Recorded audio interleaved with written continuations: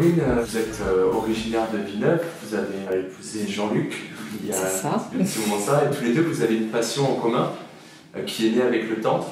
Mhm. c'est celle de, des ça a commencé par les voitures américaines en fait. Oui, c'est ça, les voitures anciennes et plus particulièrement les américaines.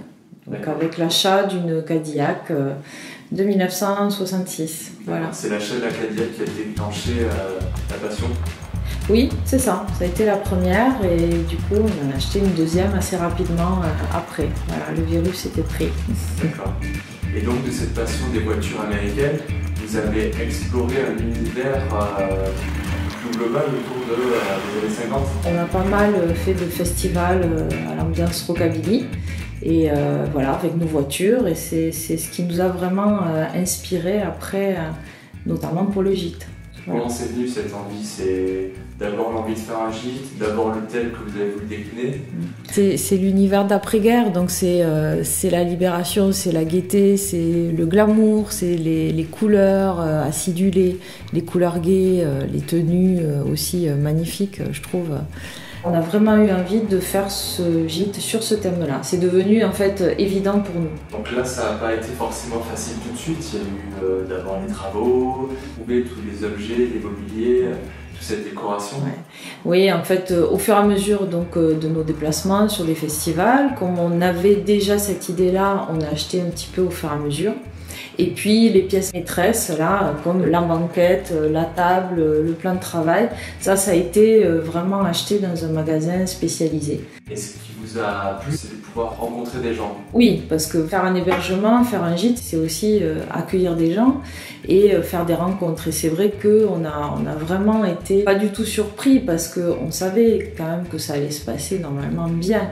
Mais on a été ravis de rencontrer comme ça des gens tellement différents qui viennent d'autres régions. On a vraiment fait de belles rencontres et c'était ça aussi le, but. En fait, euh, ce qui les accroche avec le gîte, c'est la décoration originale. Et du coup, c'est pas du tout des gens euh, passionnés euh, par ce milieu-là. Mais en tout cas, pendant une semaine, 15 jours, ils viennent se dépayser. donc grâce à vous, grâce aux voitures aussi qu'ils voient rentrer ou sortir du garage, ils vont découvrir cet univers. Alors oui, au moins le découvrir, puisque quand ils sont intéressés, on, va faire un tour, euh, voilà, avec le cabriolet, donc en général ils sont conquis. Mais euh, pour certains, euh, c'est juste bah, venir voir les voitures, les prendre en photo, mais voilà, ça s'arrête là, ça dépend de l'intérêt manifesté.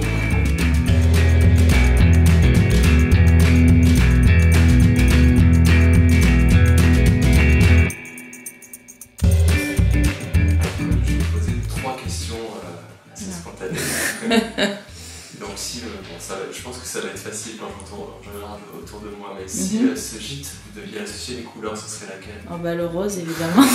je euh, S'il y avait un, un, bruit, un son ou une musique que vous voudriez associer à ce gîte? Du rock'n'roll, bien sûr. Du rockabilly. Et enfin, une anecdote ou un bon souvenir, quelque chose de, de plaisant dans ce gîte? Euh, une anecdote. Euh, bah, récemment, on a eu un gros orage euh, sur Villeneuve. On avait des vacanciers ici et, en fait, il y a eu une coupure de courant. Et tout d'un coup, on s'est dit, oh là là, mais ils n'ont rien dans le gîte pour s'éclairer. Donc, on est venu en fait de la maison avec des bougies. Et en fait, on a passé la soirée avec eux dans le gîte.